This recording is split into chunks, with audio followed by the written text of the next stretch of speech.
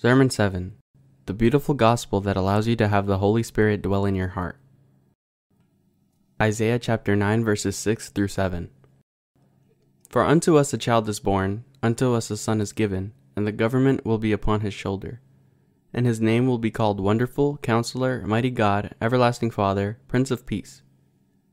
Of the increase of his government and peace there will be no end, upon the throne of David and over his kingdom to order it and establish it with judgment and justice from that time forward, even forever. The zeal of the Lord of hosts will perform this. In order to receive the Holy Spirit, we need to have faith in the gospel of the water and the Spirit.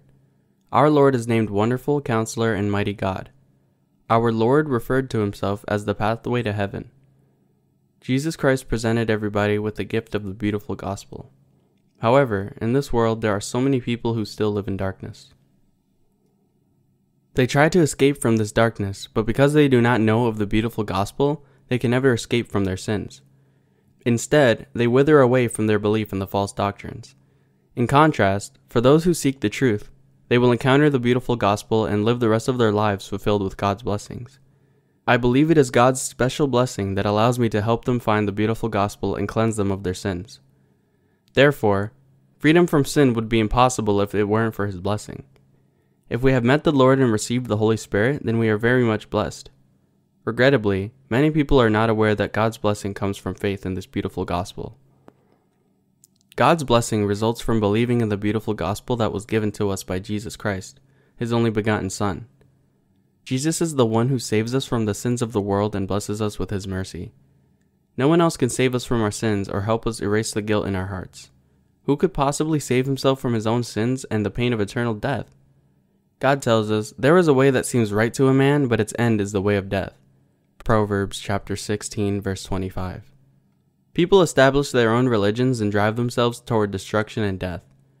Many religions boast that they emphasize righteousness and show their own ways to save people from their sins, but it is only the gospel of the water and the Spirit, which our Lord gave us, that can save us from all our sins. Only Jesus is the Savior who can save sinners from their sins. In John chapter 14 verse 6, our Lord said, I am the way, the truth, and the life. He gave his own flesh and blood to those on their way to death. He also referred to himself as the way to true life. God says that if one does not believe in Jesus' beautiful gospel, he cannot enter the kingdom of heaven. We must believe in the gospel of the water and the Spirit, be forgiven for our sins, and believe that He is our Savior in order to enter the kingdom of heaven. Now it come to pass in the days of Ahaz the son of Jotham, the son of Uzziah, the son of Judah, king of Judah, that Rezin king of Syria and Pekah the son of Remaliah, king of Israel, went up to Jerusalem to make war against it, but could not prevail against it. Isaiah chapter 7 verse 1. Israel was originally one nation. However, Israel became divided into south and north. The temple of God was in Jerusalem of southern Judea, where Rehoboam, the son of King Solomon, ruled. Later, Jeroboam, one of Solomon's servants, established another nation in the north, and so Israel became divided. From that time, faith in God deteriorated. The deterioration of faith became the source of today's heretical religions. Jeroboam thus became the originator of heretics. He amended the law of God because he needed to keep his throne and therefore became the father of heretics. He created a different religion for his people in Israel, the northern kingdom, and he even tried to invade Judah the southern kingdom. Almost 200 years passed by, but the hostile relations between two kingdoms were unchanged. However, God spoke through Isaiah Because Syria, Ephraim, and the son of Remaliah have plotted evil against you, saying, Let us go up against Judah and trouble it, and let us make a gap in its wall for ourselves, and set a king over them, the son of Tabel. Thus says the Lord God, It shall not stand, nor shall it come to pass for the head of Syria is Damascus, and the head of Damascus is Rezin. Within sixty five years Ephraim will be broken, so that it will not be a people.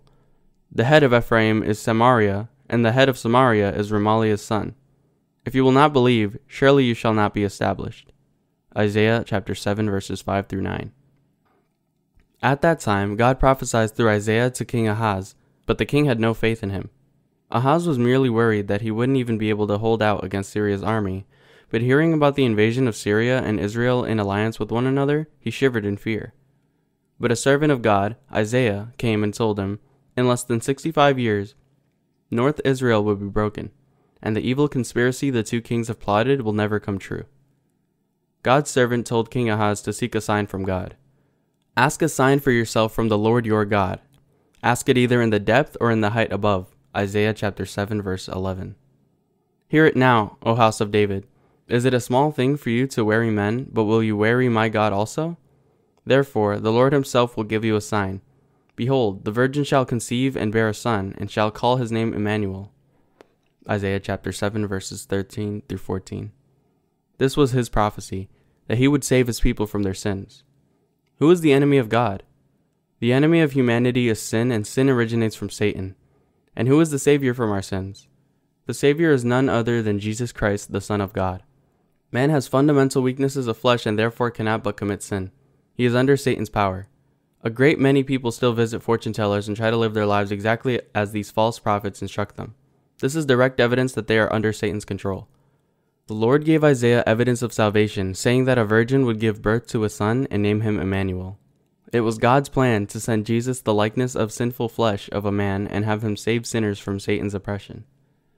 In accordance with the prophecy, Jesus came into this world as a human being born of the Virgin Mary. If Jesus had not come to us, we would still have been living under the reign of Satan. But Jesus came into this world and was baptized by John and died on the cross in order to give us the beautiful gospel that would save all sinners from their sins. Therefore, many people believed in the beautiful gospel, received forgiveness for their sins, and became children of God. Even nowadays, many theologians argue as to whether Jesus Christ is God or man. The conservative theologians say Jesus is God, but some new theologians retort by arguing that Jesus was Joseph's illegitimate child. What a lamentable assertion this is. Some new theologians say that they cannot believe that Jesus had the ability to walk on water. They say Jesus actually walked on a low hill over the horizon and his disciples, seeing him from far away, thought he was walking on water. They say Jesus actually walked on a low hill over the horizon and his disciples, seeing him from far away, thought he was walking on water. Present day doctors of divinity who belong to the schools of the New Theology aren't all great men of theology. Most of them choose to believe only what they can comprehend in the Bible. To give another example, the Bible says that Jesus fed 5,000 people with two fish and five loaves of bread, but they remain very skeptical regarding this miracle. They explain it in the following terms People were following Jesus and were starving to death, so Jesus asked his disciples to gather together all the leftover food. Then a child gave him his meal voluntarily, and all the other adults were touched and took out their own food. So after they had gathered all the food together and eaten, twelve baskets were left over. These kinds of theologians simply try to make God's words fit in their own very limited understanding. Believing in God's truth is simply having faith in the beautiful gospel God gave. Faith does not mean believing one thing just because it seems to make sense, but failing to believe in something else because it doesn't. Whether we can comprehend it or not, we must trust him and accept his words as they are written. The fact that Jesus came to us as the Son of Man means that he was sent to us to save from all our sins. Jesus, who is God, came to this earth to save us. Isaiah had prophesied that he would come to us as the Son of Man, born of a virgin. In Genesis chapter 3 verse 15, the Lord God said to the serpent, And I will put enmity between you and the woman, and between your seed and her seed. He shall bruise your head, and you shall bruise his heel. This means that God had planned to send Jesus in the appearance as a man, as our Savior, to save mankind from their sins. In the Bible it is written, O death, where is your sting? O Hades, where is your victory? The sting of death is sin, and the strength of sin is the law. 1 Corinthians chapter 15 verses 55 through 56. The sting of death is sin. When a man sins, death makes him its slave. But our Lord promised, The seed of the woman shall bruise your head. This means Jesus would destroy the sting of all sin that Satan brought. Jesus came into this world, was baptized to take away all the sins of the world, and was crucified and judged for them. He saved from their sins all those who believed in the beautiful gospel. When Adam and Eve sinned, God promised to save mankind from Satan's power. In the modern world, the enemy of God is those who do not believe in the beautiful gospel. Why was Jesus born in this world? God gave us the law and the beautiful gospel to save us from our sins. Under the law of God, people became sinners in his presence. Likewise, the law was given so that people could come to know their sins. When people became slaves to sin and to the law itself, our Lord came into this world to fulfill the righteous requirements of the law. Jesus was born under the law. He was born in the age of the law. The reason people needed the law was that they needed to know their sins in order to receive forgiveness for them. People clean the dirt from their clothes only when they realize they're dirty. Likewise, in order to recognize their sins, people should know the law of God. If there was no law, there wouldn't be any sense of sins, and Jesus would not have had to come into this world. If you know the law of God, then you have a chance to meet Him. We knew of the law and therefore were able to learn about our sins. Only after we knew of our sin did Jesus Christ bring the beautiful gospel for us to believe in. If God did not grant us the law, then we would not be sinners and judgment would not exist. Thus, God gave us the law and presented us with the beautiful gospel to save all sinners from their sins. The law that must exist between the Creator and His creation is God's law of salvation. This is the law of love. God told man, But of the tree of the knowledge of good and evil you shall not eat. Genesis chapter 2 verse 17. This was the law God granted us, and the law became the basis of the love with which God saved us from all our sins. The law of salvation had its foundation in the forgiveness of our sins. God tells us that He is our Creator, and that everything came to exist according to His will.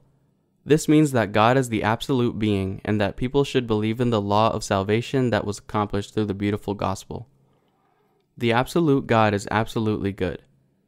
God's love for this world prompted him to sacrifice his only begotten Son, who became the Savior of all sinners. If God made us and did not give us the beautiful gospel to save us from our sins, we would have raised complaints against him.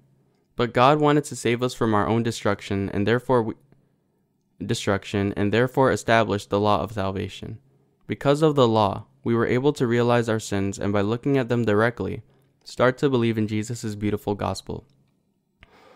When we violate God's word, we are manifested as sinners before the law, and after all, we sinners kneel down to beg for his mercy of forgiveness of sin before God. Jesus was born of a woman and came into this world to save mankind from sin. Jesus came into this world as a man to fulfill God's plan for us. We believe in his beautiful gospel. Therefore, we praise the Lord. Some complain, Why did God make me so fragile that I fell so easily into sin and have suffered so much for my wrongdoing? But God never wanted us to suffer. He allowed us to suffer because we were skeptical of Jesus' gospel. God gave us both suffering and the beautiful gospel so that we would have the same power as Him and His children. God gave us both suffering and the beautiful gospel so that we would have the same power as Him as His children. This was His plan. But the demons say, No, no, God is a dictator. Go ahead and live as you wish. Be independent. Make your fortunes through your own efforts. The demons also try to block mankind's belief in God. But those who choose to live apart from God are barriers to his plan for salvation. Jesus came into this world and called those who are under the power of Satan to renounce their sins. We should not live apart from God. Man is born a sinner who is destined to hell. There is no truth on this earth that does not change, but the beautiful gospel of Jesus is the unalterable truth. Therefore, people can depend on that truth and be delivered from the power of Satan. Man inherited the sins of Adam and Eve, and without Christ's intervention would be doomed to the fires of hell. Instead, thanks to his sacrifice, man was blessed with the power to become a child of God. Nevertheless, the gloom will not be upon her who is distressed. Isaiah chapter 9 verse 1. God sent his son to this world and glorified those who believe in the beautiful salvation. The people who walked in darkness have seen a great light. Those who dwelt in the land of the shadow of death, upon them a light has shined. Isaiah chapter 9, verse 2. Today, this word comes true to you and me. By believing in the beautiful gospel, we were blessed with eternal life, which we cannot have on this earth. Jesus Christ saved mankind from all the sins of the world, and to those who believe in the beautiful gospel, he gave eternal life and the kingdom of heaven. He shed the beautiful light of gospel on those who were hopeless. Man, like a fog, exists in this world for a while but soon disappears. His life is like that of annual plants, and grass. Grass retains its life force for only a few months during the year and disappears according to the providence of God. All is vanity in our lives as meaningless as this grass. But God gave the beautiful gospel to our exhausted souls and with his righteousness made us his children. What an amazing grace this is! Our meaningless lives became eternal lives thanks to God's love, and we were also blessed with the right to become his children. Here is the confession of a soul who was blessed with God's grace by believing in the beautiful gospel. I was born in a family that did not believe in God. Therefore, I was brought up thinking it beautiful for my mother to pray to the gods of heaven and earth for the well being of my family every morning with a bowl of water in front of her. As I was growing up, I did not know of my value or the reason for my existence, which made me believe that it didn't really matter whether I lived or died. Because I was unaware of my worth, I lived in solitude. This kind of life exhausted me, and so I rushed to get married. My married life was a good one. I had nothing to wish for, so I lived a quiet and serene life. Then I had a child, and from that time, I found that love started to appear in me. I began to lose my selfish desires, but I also feared the loss of those closest to me. Thus, I began searching for God. I was fragile and incapable, and therefore needed an absolute being to keep watch over my loved ones. So I started to attend church, but my faith was little different from that of my mother as she prayed in front of the bowl of water. My prayer was only based on vague fears and hopes. Once, I attended one of the small meetings held at the local church, and while I was praying, tears started to fall from my eyes. I was embarrassed and tried to stop crying, but the tears continued to fall. The people around me laid their hands on my head and congratulated me for receiving the Holy Spirit, but I was bewildered. I wasn't even familiar with God's words, and my faith in Him was only vague, so I had no confidence that this force was of the Holy Spirit. The church that I attended was associated with the Pentecostal charismatic movement, and many had experiences like me, and almost everybody spoke in tongues. One day, I was invited to a revival meeting led by a pastor who people said had been filled with the Holy Spirit. The pastor gathered numerous people at the church and said that he would heal someone's sinusitis as it was in his spiritual powers to do so. However, I thought sinusitis was an illness easily healed in the hospitals, so I was more interested in how he had received the Holy Spirit. But after the pastor appeared to succeed in his attempts at healing, he began to boast that he could predict whether a high school student would succeed in his or her university entrance exam or not. A lot of people praise his powers as if they were gods. But I could not understand him, and I could not say that whatever power the pastor had had anything to do with the Holy Spirit. I didn't think it was important whether he could heal sinusitis or forecast someone's success on an exam. So, I could not take his apparent miracles as the works of the Holy Spirit.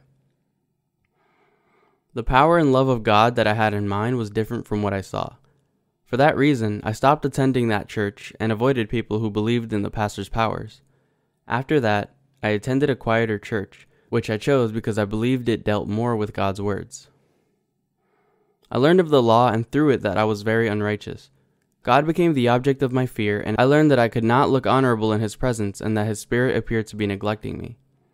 In Isaiah chapter 59 verses 1 through 2, it is written, Behold, the Lord's hand is not shortened, that it cannot save, nor his ear heavy, that it cannot hear. But your iniquities have separated you from your God, and your sins have hidden his face from you, so that he will not hear. This appeared to fit my situation. It was impossible for me to become his child and receive the Holy Spirit because everything I did or thought was sinful.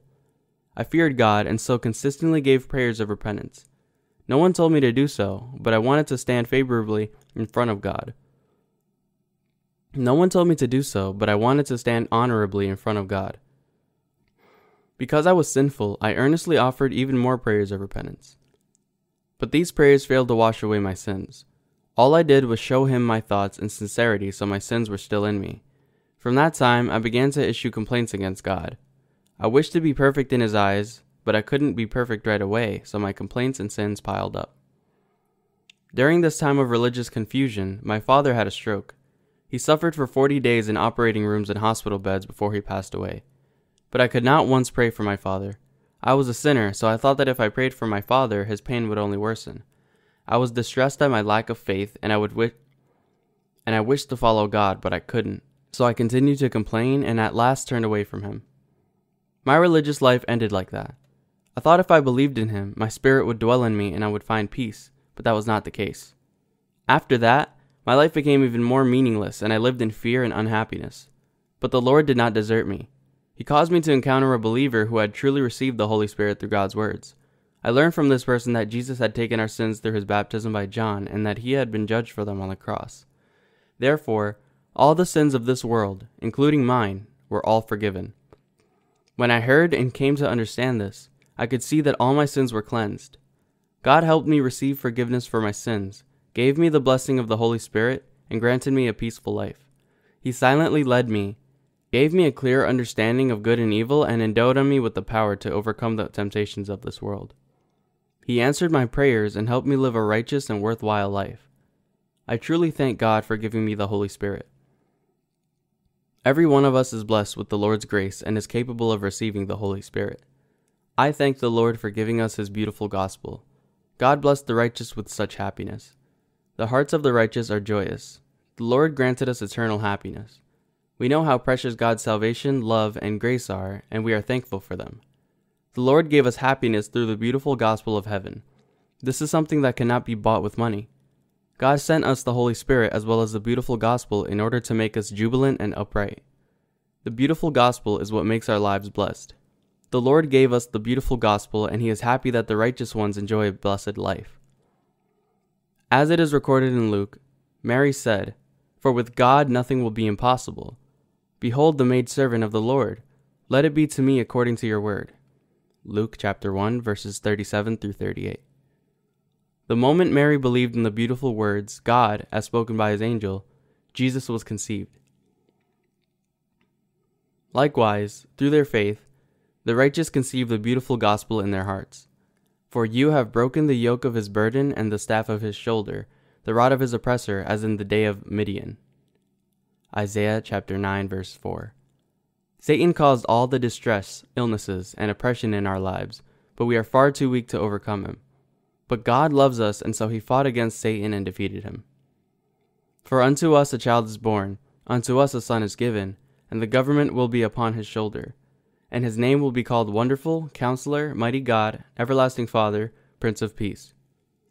Of the increase of his government and peace there will be no end, upon the throne of David and over his kingdom, to order it and establish it with judgment and justice from that time forward, even forever. The zeal of the Lord of hosts will perform this. Isaiah chapter 9 verses 6 through 7. God promised to glorify us as his children through the beautiful gospel that Jesus brought. He defeated Satan in accordance with his promise and delivered us from the power of Satan. The Lord came to earth with the Lord came to the earth and with his power promised to take away all the darkness of sin. So we also call our Lord the wonderful one. He has done many wonderful things for us. God's decision to come to this world as the Son of Man was mysterious. Come now, and let us reason together. Though your sins are like scarlet, they shall be as white as snow. Though they are red like crimson, they shall be as wool. Isaiah chapter 1 verse 18. The Lord promised to save us from our sins and give us eternal forgiveness. Jesus is referred to as the wonderful one and accordingly, he has done miraculous works for us. His name will be called Counselor, Mighty God. God, as our counselor, planned our salvation with the beautiful gospel and carried out his plan to save us eternally from our sins. The foolishness of God is wiser than man. It was his wisdom for Jesus to be baptized by John and to die on the cross in order to save us from all our sins. This is mysterious work that he did for us, but it is the law of love that saved us from all our sins. The law of love is the gospel of truth that leads us to receive the Holy Spirit through the water and his blood. The Lord says in Isaiah chapter 53 verse 10, Yet it pleased the Lord to bruise him, he has put him to grief. Jesus made his soul an offering for sin in order to do the will of God. He passed on the sins of the world to his Son, Jesus Christ, and had him suffer the pain of crucifixion in order that he would be judged for them. This is the beautiful gospel that saved mankind from their sins once and for all. Christ offered his life for us, paid the wages of sin, and blessed us with salvation. The sacrificial system of God. The Bible speaks of an offering that once resulted in forgiveness for a day's sin. A sinner had to bring an animal without blemish and lay his hands on the animal's head in order to pass on his sins. Then he had to kill the sacrifice and hand its blood to the priest.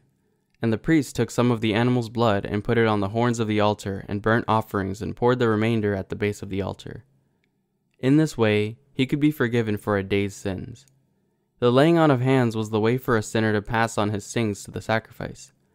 Those who offered their sacrifices in accordance with the sacrificial system could receive forgiveness for their sins. The sacrificial system was the way we atoned for our sins in the time before Jesus took away all sin. God had also appointed the Day of Atonement so that the people of Israel could make atonement for the sins committed over the course of an entire year. The sacrifice took place on the tenth day of the seventh month. God appointed Aaron, the high priest, as the one who passed on the year's sins of all Israelites to the scapegoat. The ritual was carried out in accordance with God's plan. The forgiveness of sins came from his wisdom and love for mankind. This is his power. The horns of the altar of burnt offering stands for the books of judgment, Revelation chapter 20 verse 12, where the sins of mankind are recorded.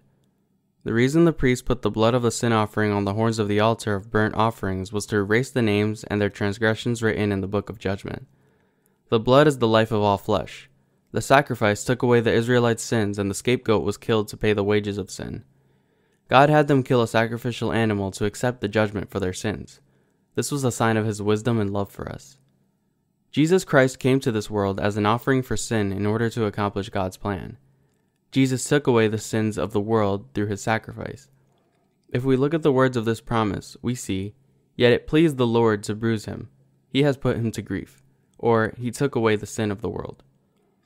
For unto us a child is born, unto us a son is given, and the government will be upon his shoulder. And his name will be called the Wonderful, Counselor, Mighty God, Everlasting Father, Prince of Peace. Of the increase of his government and peace there will be no end, upon the throne of David and over his kingdom to order it and establish it with judgment and justice from that time forward, even forever. The zeal of the Lord of hosts will perform this. Isaiah chapter 9, verses 6 through 7. The mysterious and wonderful promise was that Jesus would carry out God's will and give all believers peace by taking away the sins of the world. God's promise was a promise of love, by which He planned to bring peace to all mankind. This is what God promised us, and this is what He did. Matthew 1, verse 18 says, Now the birth of Jesus Christ was as follows. After his mother Mary was betrothed to Joseph, before they came together, she was found with child of Holy Spirit. Jesus means Savior, the one who will save his people from their sins. Christ means the King anointed. King Jesus had no sins, and he is our King and Savior who was born of a virgin in order to save his people from their sins. And she will bring forth a son, and you shall call his name Jesus, for he will save his people from their sins. So all this was done that it might be fulfilled, which was spoken by the Lord through the prophet. Matthew chapter 1 verses 21 through 22. Jesus took all the sins of the world along with him through his baptism. It is written in Matthew chapter 3 verse 13 through 16, Then Jesus came from Galilee to John and Jordan to be baptized by him. And John tried to prevent him, saying, I need to be baptized by you, and are you coming to me? But Jesus answered and said to him, Permit it to be so now, for thus it is fitting for us to fulfill all righteousness. Then he allowed him.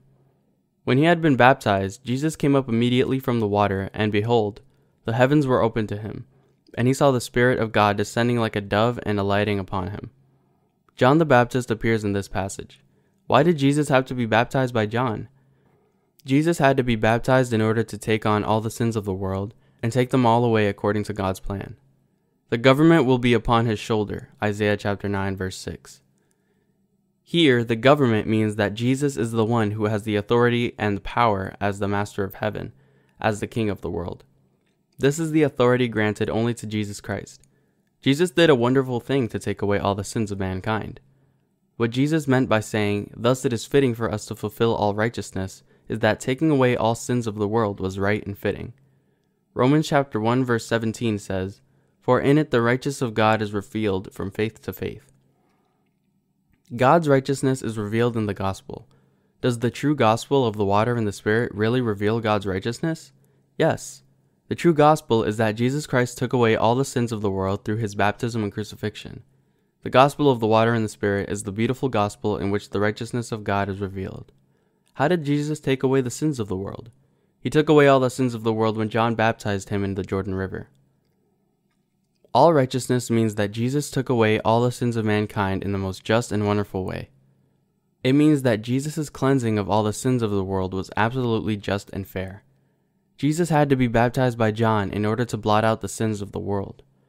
God knew that Jesus' baptism was absolutely necessary in order to bring peace to mankind. Jesus could not have become our Savior if he hadn't been baptized by John and shed his blood on the cross. Jesus served as the sin offering in taking away all the sins of the world. God says in Isaiah chapter 53 verse 6, All we like sheep have gone astray. We have turned every one to his own way, and the Lord has laid on him the iniquity of us all. Jesus had to accept all the sins of the world in order to do God's will. This is the reason that Jesus came as a sin offering in the flesh of a man and was baptized by John. Jesus had to accept all the sins of mankind and be judged for them so that he could fulfill God's plan and express his undying love. When Jesus emerged from the water after his baptism, God said, This is my beloved Son, in whom I am well pleased. Matthew chapter 3 verse 17. A baby was born unto us. For unto us a child is born, unto us a son is given, and the government will be upon his shoulder, and his name will be called Wonderful, Counselor, Mighty God, Everlasting Father. Isaiah chapter 9, verse 6. Jesus is the Son of God. Jesus is the God of creation who created the whole universe. Not only is he the Son of the Almighty God, he is also the Creator and the King of Peace. Jesus is the God who gave happiness to mankind. Jesus is the God of truth. He took away all our sins, saved us, and gave us peace. Is there sin in this world? No, there is no sin. The reason we can confidently say that there is no sin is because we believe in the beautiful gospel, which says that Jesus washed away all the sins of the world through his baptism and blood on the cross. Jesus did not lie to us. Jesus paid the wages of sin with his baptism and blood.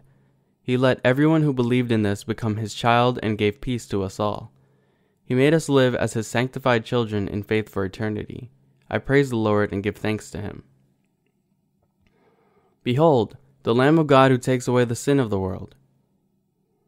John chapter 1 verse 29 says, The next day John saw Jesus coming toward him and said, Behold, the Lamb of God who takes away the sin of the world. Jesus Christ appeared again in front of John the Baptist the day after he took away all the sins of the world through his baptism. John the Baptist bore witness to Jesus, saying, Behold, the Lamb of God who takes away the sin of the world. He bore witness again in John chapter 1 verses 35 through 36. Again, the next day, John stood with two of his disciples, and looking at Jesus as he walked, he said, Behold the Lamb of God. Jesus was the Messiah who came as the Lamb of God, just as God had promised in the Old Testament. The Messiah Jesus Christ came to us as the Wonderful One, Counselor and Mighty God, and was baptized to save us from all our sins. A baby was born unto us he accepted all the sins of the world through his baptism by John, paid the wage of sin, and became the Prince of Peace who gives us peace and remission of all our sins. Behold, the Lamb of God who takes away the sin of the world. People once had no other choice but to die for their sins. Humans were destined to commit countless sins due to their sinful natures and eventually be condemned to hell. They led miserable lives. Not one of them could enter or even dream of the kingdom of God due to their weaknesses. Jesus Christ, who is our God, accepted all their sins when he was baptized by John in the Jordan River and was crucified in judgment for their wrongdoing. Upon his death, Christ said, It is finished. John chapter 19 verse 30. This was the cry of his witness to the fact that Jesus saved all mankind from their sins and death, and that he absolutely delivered anyone who believed in the beautiful gospel. Behold, the Lamb of God who takes away the sin of the world. Do you know where all the sins of the world are? Aren't they on the body of Jesus Christ? Where are all the sins and trespasses that humble us in the world? They were all transferred to Jesus Christ. Where are all our sins? They are in the flesh of the one with the principality upon his shoulder. They are in the flesh of the Almighty God. All the sins from birth to the grave. We commit sin throughout our lives. We committed sins from the day we were born until the day we turned 20. Where did all of those sins committed for 20 years go? They were transferred to Jesus Christ's flesh. The sins that we committed between the ages of 21 and 40 were passed on to Jesus too. No matter how many years a person lives, the sins he committed from the beginning of his life until the end were transferred to Jesus Christ. All the sins that mankind committed, starting from Adam to the last person on this earth, were transferred to Jesus. Even the sins of our children and grandchildren were already passed on to Jesus. All the sins were transferred to Jesus at the time he was baptized. Are there still sins in the world? No, not one is left. There is no sin left in the world because we believe in the beautiful gospel that Jesus gave us. Do you have sin in your heart? No. Amen. We believe in the beautiful gospel that Jesus Christ saved us from all our sins. We praise Almighty Jesus for doing this wonderful work for us. Jesus Christ restored our lost lives to us. Now we believe in the beautiful gospel so that we are able to live with God. Even the people who were enemies of God, the sinners who had no other choice but to hide in the dark forests, can now be saved from their sins by believing in the beautiful gospel. The beautiful gospel teaches us that the Lord washed all our sins clean when he was baptized by John, crucified and resurrected. We became sanctified children of God by believing in Jesus' gospel. Jesus offered his own body as the offering for our sins. He, the Son of Almighty God, who never committed a single sin in this world, took away all the sins of the world and he saved everyone who believes in him. Isaiah chapter 53 verse 5 says, He was wounded for our transgressions, he was bruised for our iniquities. Jesus took away all the sins of the world, including both original sin and actual sins, and left out not a single transgression. He paid the wages of sin with his death on the cross, and thereby saved us from all our sins. Jesus washed away all the sins of the world through this beautiful gospel. We have found new life through Jesus. Those who believed in this beautiful gospel are no longer dead in spirit. We now have new and eternal life, for Jesus paid all the wages of our sin. We have become children of God by believing in the beautiful gospel of Jesus Christ. Do you believe that Jesus Christ is the Son of God? Do you also believe that He is your Savior? I do. Jesus Christ is the life to us. We found new life through Him. We were destined to die because of our sins and trespasses, but Jesus paid the wages of sin through His baptism and death on the cross. He delivered us from our slavery to sin, from the power of death and the bonds of Satan. The Lord is the God who saved us from our sins and became the Savior of everyone who believes in Jesus. When we look at Hebrews chapter 10 verses 10 through 12, 14 and 18, we can see that the Lord sanctified us so that there was no further need to receive the remission of sins. We enter the kingdom of God by believing in Jesus. We were destined to die for our sins and trespasses, but now we are able to enter heaven and enjoy eternal life by believing in Jesus' baptism and blood. The good shepherd gives his life for the sheep. John chapter 10 verse 11.